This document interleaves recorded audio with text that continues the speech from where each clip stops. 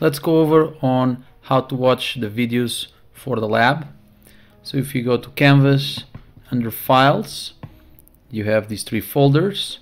I made small adjustments here. I moved the list that I have with the videos inside of the lecture folders. The lecture folder, sorry. So inside of lectures, right now you have the lecture videos over here that you can watch at your own pace.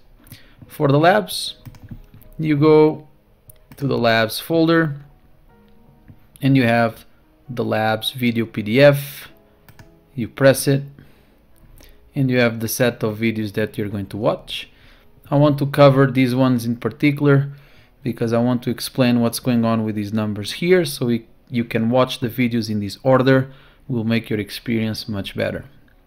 So when I press on this first one it's going to redirect you to the LabView videos. And notice that you have three videos over here and they have the numbers here 1 3 2 3 3 3 so the first one on the list is the 1 3 so you watch that one.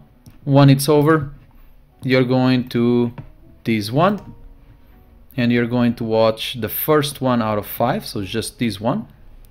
Once you're over you go back to your video number five and in this case you're going to watch now number two so you press it and you watch. So you got the idea.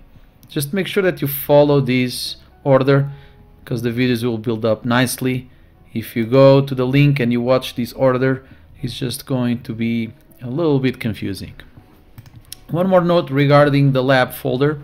So the labs will be organized per week. So when I press week one because we have a lab on Wednesday and a lab on Friday the contents for the lab on Wednesday will be in the folder for Wednesday the contents for the lab on Friday will be on the lab on Friday.